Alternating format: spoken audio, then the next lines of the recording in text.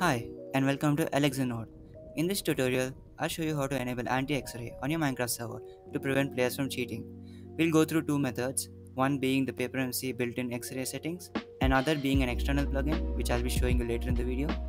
So let's get started.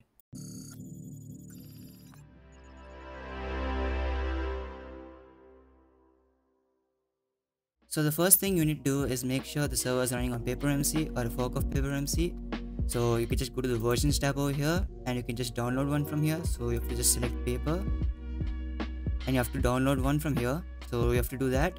But if your server is already on papermc you just go to the file manager go to the config folder open the paper world defaults.yml and the first thing you'll see is for the anti x-ray so pretty much what you need to do is you just need to enable it over here. So you can change it to true and now I'll explain to you on what engine mode is. So the difference between engine mode 1 and engine mode 2 is, in engine mode 1, it removes the overs from the x-ray. So it's basically a simple illusion where when you try to x-ray, you it doesn't let you see any ores. So it hides most of the ores. So that's how engine mode 1 works. But when it comes to engine mode 2, it actually adds fake ores. So that's the difference between engine mode 1 and engine mode 2. In engine mode 2, basically uh, it could replace stones or anything else with fake ores. So there could be like uh, an iron ore and some stone around it and it could just fool you by replacing the stone to coal. So that's how engine mode 2 works. And when you come down here you'll find hidden blocks over here.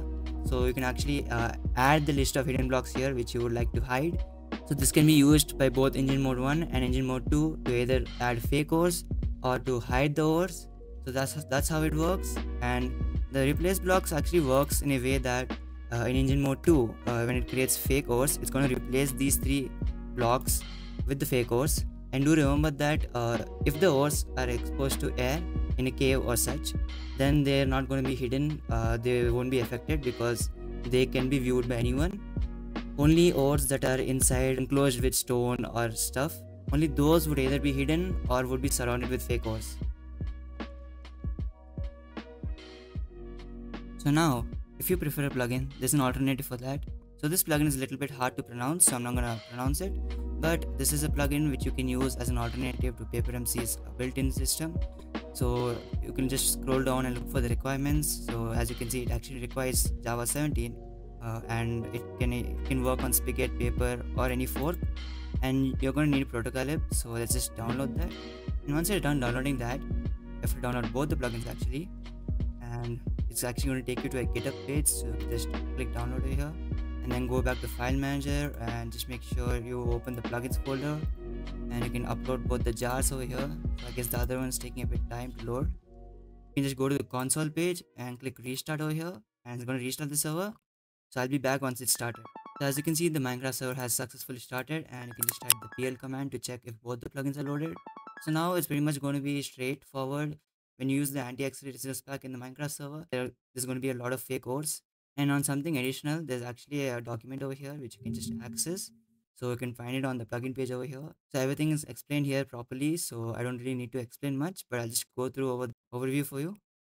So you can just go to the file manager over here and then go to the plugins folder and open the plugin responsible for the anti-X-ray and open config.yml and the first thing that I'm going to show you is actually ignore spectator. So I would recommend you enable this so that uh, if you have staff who is trying to anti-X-ray with a spectator mode, uh, it doesn't affect them and they're actually able to see the real ores. So, so you can just ignore it like that.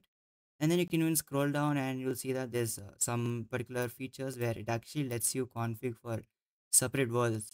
So this being overworld and then there's nether below. Here, as you can see, you can even edit for nether and then you can even edit for end. So there's like separate configs for uh, each world. So you can do that as per your wish. Uh, you can of course like uh, edit here. So for example if it says overworld let's say you have another world called earth. So now both these worlds will be applied to the plugin. And there's even like a minimum y and maximum y. So you probably know what this is. Uh, it's actually the up and down distance. So that's the uh, values over here. Of course if you want to disable this let's say you only want anti x-ray to work in uh, nether and the end. So you can leave the below configs as it is and just disable it over here. Generate any fake ores when you're trying to mine with an x-ray resource pack in the overworld. So that's pretty much it. With either methods you can effectively stop x-rays on your minecraft server. If you found this helpful, drop a like and subscribe for more similar videos. See you soon.